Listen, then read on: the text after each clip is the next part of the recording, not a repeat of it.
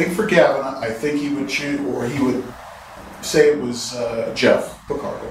And I think it could be Simon Phillips. Now I'm struggling a bit. Um, I think Tony Thompson had a bigger influence on uh, Gavin than people could imagine.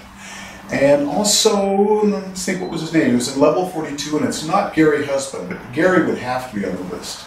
He's inspiration to any drummer. But who was the heavy-handed guy that played? Uh, with Phil the- Gould? Yeah, Is it- Phil is Gould, I think, would be another. Uh, there you go. That's five. Right? All excellent drummers. For Pat, I, I know you're a Ginger Baker fanatic, Yeah.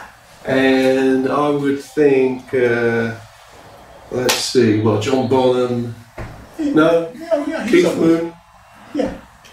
Pat likes the more chaotic I kind like the British guys. They were drummers. Well, Bill Bruford, right? Yeah. Bill Bill. Milford. What about Jamie Muir? Sorry. Jamie. Jamie Muir, yeah, of course. Well, I mean, Pat's But you missed, Doing a lot. you missed the two biggest ones. the two biggest ones. Um, uh, let me think then. In the land where I was born. Ringo. yeah, Pat's a Ringo fan. And Charlie Watts? Not Charlie so much. I, I like him, but uh, Michael Giles. He hit me at the perfect time. And Right. that was my connection. Uh, yeah. Right. At the same time as Bonham came along, but Giles was like, wow, this is way cooler than Bonham. This is like Mr. and Mrs., isn't it? Yeah.